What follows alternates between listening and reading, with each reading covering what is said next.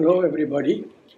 Greetings from Chennai. Uh, today, I'm going to talk about a rather obscure but nevertheless an important topic anaerobic infections and their relevance to dermatologists. Millions and millions of years ago on this planet Earth, there existed total darkness in an atmosphere of hydrogen, ammonia, carbon dioxide, and methane. And only the primitive organisms called anaerobes existed.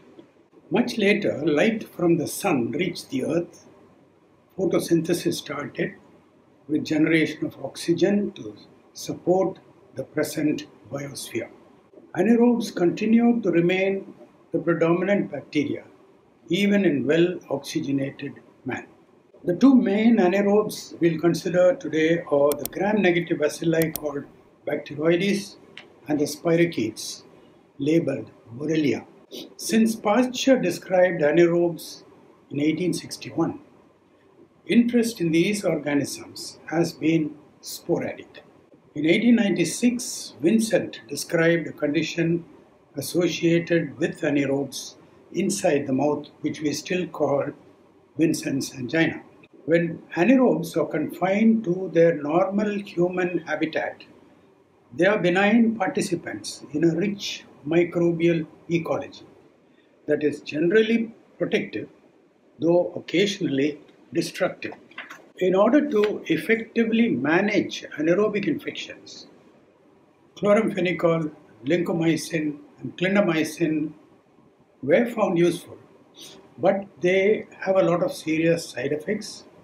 They do not cross the blood brain barrier and they are expensive. On the other hand, metronidazole, which had been used for many decades for treating genital trichomoniasis, amoebiasis, and giardiasis, it is uniformly bactericidal for all anaerobic organisms. But all aerobes are resistant to metronidazole.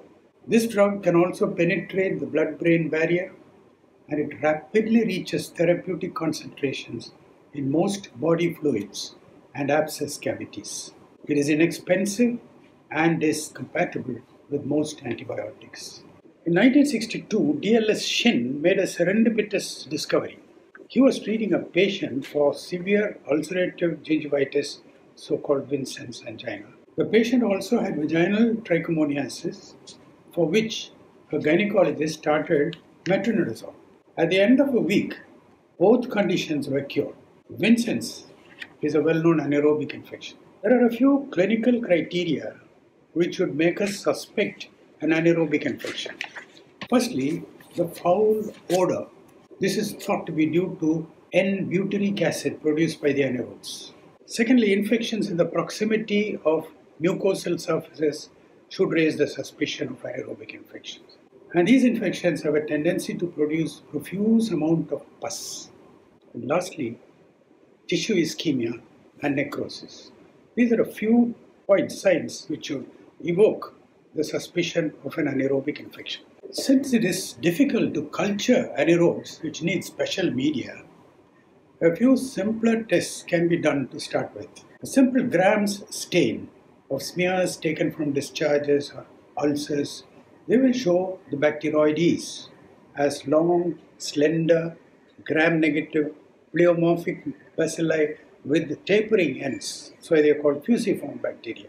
The Borrelia are best seen under dark field microscope, just as we look for Treponema pallidum of syphilis. Now, with this brief preamble, I'd like to present two clinical scenarios in dermatological practice where anaerobes play a predominant role and where metronidazole gives prompt relief. In the 1970s, following torrential rains in the city of Madras, now called Chennai, there was flooding of the rivers with washing away of the low lying slums. It was a week or so before the waters receded.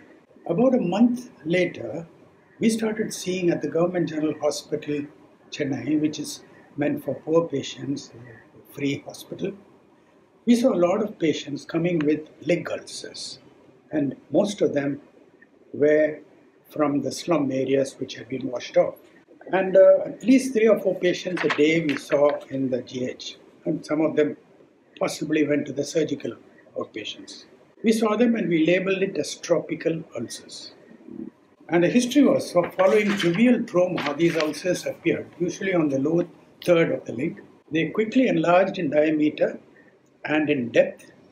They were extremely painful and accompanied by a very foul smelling serosanguinous discharge, causing a lot of distress to the patients and to other family members. The discharge, we sent it for culture to the microbiology department, and a plethora of organisms were grown in different patients E. coli, Proteus, Pseudomonas, Klebsiella, Staphylococcus, and so on. In other words, there was no fixed pattern. There was poor response to the antibiotics then available, erythromycin and tetracycline. On the other hand, a few patients were admitted to the wards because the ulcers were very large and painful were given intramuscular penicillin and they responded well. At this point, I was convinced that the aerobic bacteria cultured from the ulcers were probably only uh, contaminants, not the causative pathogens. So I took smears from each and every one of these ulcers, did a gram stain, and every case I was able to find out the bacteroides. And similarly, I took a drop of the discharge, put it on a glass slide, a cover slip, and took it to the neighboring STD department, very near the skin department, and put it under the dark field microscope. And again, in every case, I was able to see the spirochete, the Borrelia, with its wide loops, unlike Treponema pallidum, which has got very tight coils. At this point, I was convinced that tropical ulcer was predominantly an anaerobic infection, with the various aerobes reported in culture being merely contaminants. To test my hypothesis, I gave these patients only metronidazole 400 milligrams three times a day. Within two days, the discharge reduced and the pain was relieved considerably in every single case. We published our findings in the International Journal of Dermatology in 1979. A few months later, Dr. Robinson of uh, Trop, uh, Liverpool Tropical School, he phoned me and said he was interested in ulcers, leg ulcers. Could he come down to Chennai? I told him that the epidemic is already over, but anyway, he's welcome to come and see. So he landed here. He visited various Chennai city hospitals. He also went to Karigiri in Vellore and he managed to get about a dozen cases of tropical ulcers. He biopsied these cases and collected blood uh, samples from each one of these, and he took it back to Liverpool.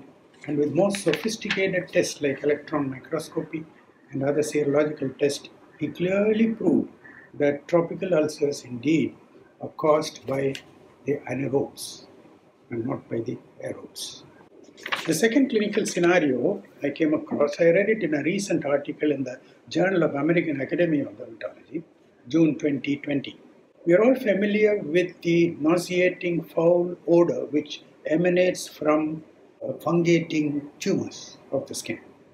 Not only does it cause distress to the patient, but also to the co patients in the ward and also to the caregivers.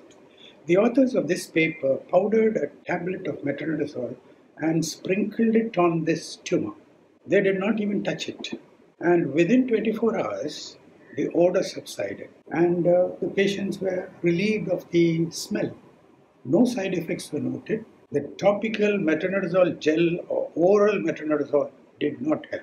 The authors believe that the smell is caused by the anaerobes. Of course, it doesn't cure the condition, but it relieves one of the most predominant symptoms of these patients with fungating tumor. There is still ignorance, apathy, skepticism about the important role of anaerobes as pathogens. As a famous bacteriologist, Maderio said, medicine and microbiology must synergize, lest once again the whole world becomes anaerobes.